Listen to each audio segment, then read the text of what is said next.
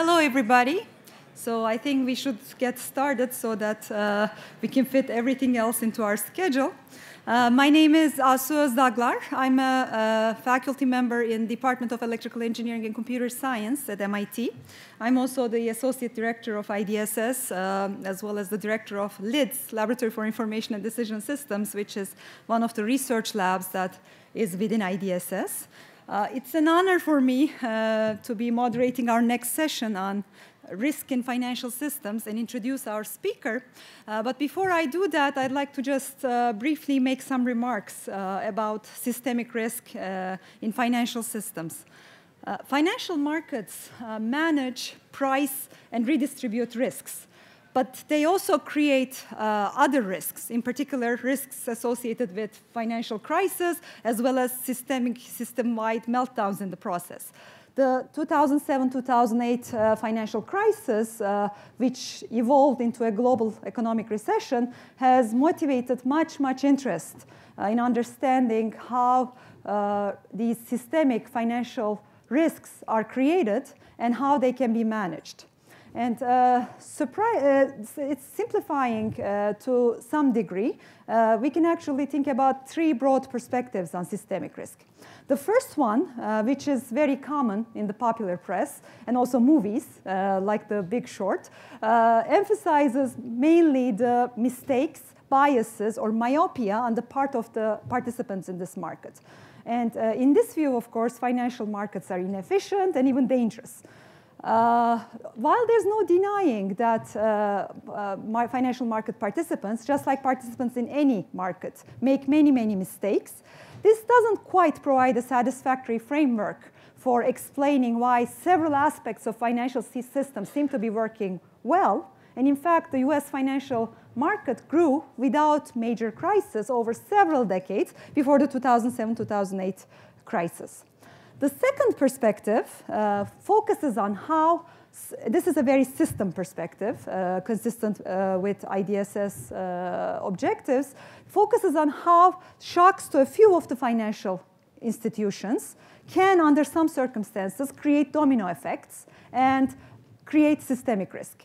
And the emphasis here is uh, mainly how interconnections among financial institutions and even the market liquidity can be the creators of vulnerabilities in the system and create, uh, as a result, uh, financial crisis.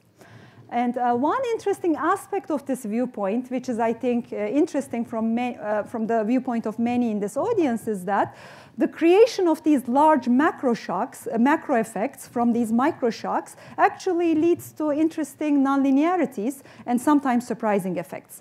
To illustrate this, I'd like to just quickly uh, give a very brief summary of some of the work I've done in this area, jointly with Daron Acemoglu from MIT Economics Department and Ali Reza Tahbaz-Salehi from Columbia Business School.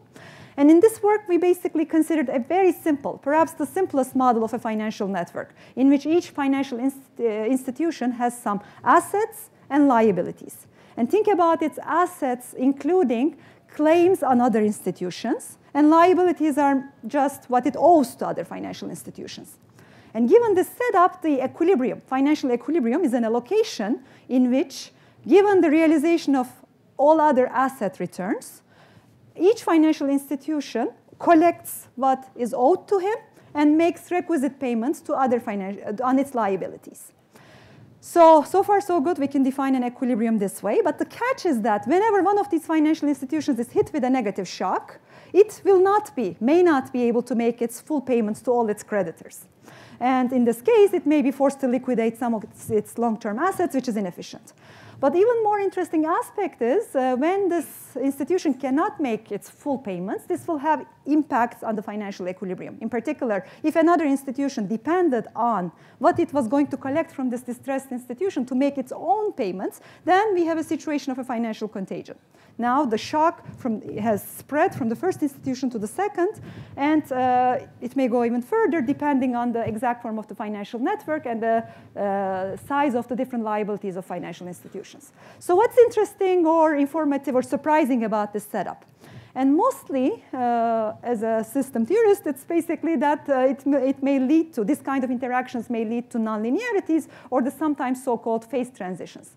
And to understand this, I'd like to contrast two scenarios. Let's first consider the case when the shocks that these institutions are suffering are not too large. And in this case, we show that financial contagion can happen, and the best way of containing it is to create dense set of interconnections between all institutions.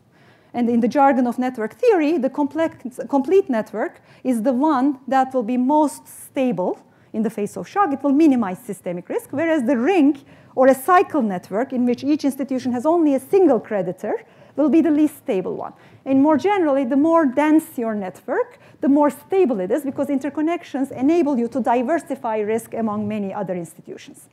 Now, what's interesting is if you consider larger shock, this, this story, which is also consistent with common wisdom, actually gets completely reversed. Complete network is the least stable configuration among all these institutions. And the reason is uh, interesting and informative. Basically, when you have larger shocks, it's hard to contain a single shock and it will spread. And in this case, interconnections serve as a medium over which these shocks or failures will spread to the rest of the financial system. And complete network, having the most pathways through which this can happen actually acts as a uh, medium in which this distress can invade the entire system. So this uh, quick exercise tells us about, sort of shows us the phase transition, shows us the dark side of interlinkages. If you're curious about what's the most stable network in this case, it's actually what we call a weakly connected uh, network in which we have several islands with dense interconnections that are weakly connected to each other. So this second perspective, this sort of shocks creating macro effects, is very much an active area of research. There are many other more complex, sometimes empirically more relevant channels through which shock to one part of the system propagates to the rest. And this gives also a nuanced view on inefficiencies. Financial markets are not irrational, but inefficiencies are still there because of this contagion effect. What contagion means is what essentially what one financial institution does has implications for the entire system, which is not internalized. And there's a third perspective on systemic risk, which we're going to hear next. And this perspective basically starts from emphasizing the complex problems that financial markets are trying to solve and also highlights how these efforts actually leads to some peculiar distinct features that we observe in financial markets. Basically, we learn that the huge volume of the transactions and the speed with which this takes place in modern money, money markets leads to or creates strong incentives for the participants to create opacity, opaqueness, and actually rely on information insensitive financial instruments. So not information rich, such as simple debt contracts or repo transactions, but then this, having this opaque environment opens the door for runs, panics, collapses as we've observed in 2007 and 2008. So you're in a treat, and uh, not bec only because this is a really uh, interesting and thought-provoking perspective, but you're going to hear about it from one of the maestros of uh, economic theory, Bengt Holmstrom. Uh, Bengt Holmstrom uh, needs no introduction, but I will still do my best to, to introduce him briefly. Uh, Bengt has uh, revolutionized, I think, not one, but several areas of economics. Uh, his earlier work uh, laid the foundations of modern theory of incentives, contracting, and agency. He's the first uh, to provide a systematic analysis of delegation. His work over the past two decades focused on financial markets. Uh, his work in this area, joint with Jean Tirole, uh, became the workhorse model for the analysis of market liquidity and uh, shortages. Uh, Bengt Holmstrom is the Paul A. Samuelson Professor of Economics uh, at uh, Massachusetts Institute of Technology. He was the head of the economics department from 2003 to 2006. He's an elected fellow of the American Academy of Arts and Sciences, Econometric Society, American Finance Association, an elected forum member of Royal Swedish Academy of Sciences and Finnish Academy of Sciences and Letters. He served as the president of the Econometric Society in 2011. His influence and originality has been recognized by several prestigious awards, including honor, several honorary doctorate degrees, uh, as well as the inaugural Banque de France uh, Toulouse School of Economics Senior Prize, granted every two years for academic researchers who developed central concepts to improve our understanding of monetary economics and finance.